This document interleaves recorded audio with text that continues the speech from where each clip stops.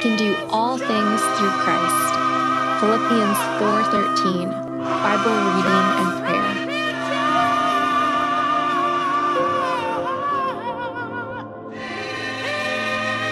I rejoiced in the Lord greatly that now at length you have revived your concern for me.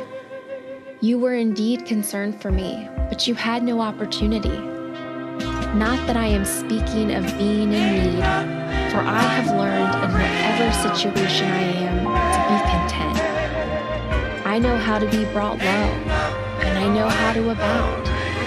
In any and every circumstance, I have learned the secret of facing plenty and hunger, abundance and need. I can do all things through Him who strengthens me. Let's reflect on this Bible passage in prayer. A prayer for God's strength.